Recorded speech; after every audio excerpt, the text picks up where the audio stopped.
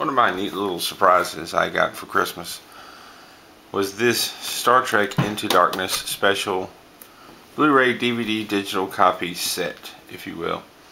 I don't know that they sell these brand new anymore. Uh, my brother was nice enough to get this when it came out, but you can still find these on eBay.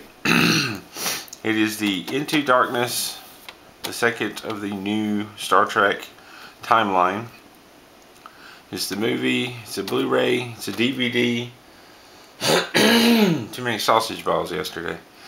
Um, it's a digital copy that I believe you can download, but it also comes with a ship, which is a little hard to see. So we're going to open this up and see what's in here. I Already got the plastic cut. First of all, comes with the DVD and a metal tin that opens like a book. You got the Into Darkness. I believe this is the Blu-ray. And behind it you have the DVD. I don't actually have a Blu-ray Blu-ray player yet. My birthday is coming up very soon. Maybe I will get lucky. Because this isn't the only Blu-ray I got for Christmas. You got a little insert here. And I like the movie. Um, the tin is nice. I wouldn't have personally really cared if it was a tin or a plastic case just to have the movie. What I really, really, really like about this is the ship. Apparently it's a Hot Wheels Enterprise. And I've actually already gotten into this from excitement. But you see it just says shit. It's the Vengeance, I believe. Yes, the USS Vengeance, which was in the movie. And a little stand. I Comes packaged in ever so gently. And the ship. It's um I believe it's all plastic. The nacelles are a bit flimsy which is kind of disappointing. They're very thin, but this isn't really meant as a toy. it's meant to be put on the shelf and admired, which is fine. It's lightweight. It's it's inexpensive. It, I mean, it's not made of heavy-duty materials. Just basically plastic, maybe some screws here and there. It's not very detailed. It's got a little bit of paint on it, but mostly it's just gray with a little dark gray. But it'll look nice sitting on the shelf. Just snaps into here.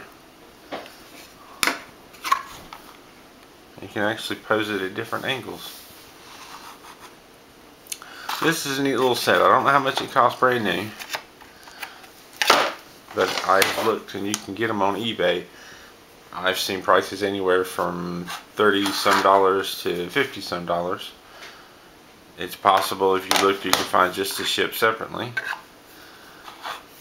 But I am uh, very fond of the ships of Star Trek, Star Wars, any sci-fi, Firefly. That's my favorite thing about them is the ship, the technology. As you can see here behind me where I sit, I have a Micro Machines collection that I bought most of these back when they were brand new in 95, 96 I bought different sets. There's a few that I missed because I bought them as they were coming out and didn't get the big box sets which came with stuff that I don't have namely the rare one that has I believe the Pasteur, the Enterprise E, and something else. Those are the main ones I don't have. So they've got a little place here for now. Gonna set the Vengeance.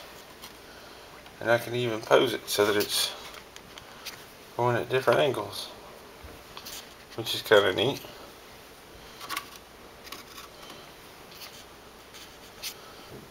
Of very neat.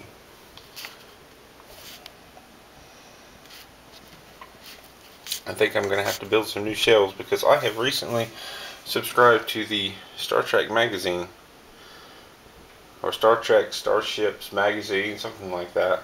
I haven't got my first one yet, but it ships maybe roughly this size that come in the mail once a month. It's a subscription service, and I'm very much looking forward to that. Would have been nice to have it before Christmas, but I'll start with this. My Micro Machines and my Towering Vengeance. And I hope you enjoyed. Thanks for watching, and if you want one of these sets, go on eBay and, and grab them up while they're still around. Thank you for watching.